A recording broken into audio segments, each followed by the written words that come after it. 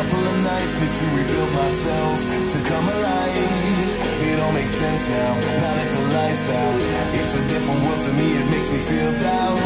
Wait until the storm comes down, until the sleep comes and makes it all.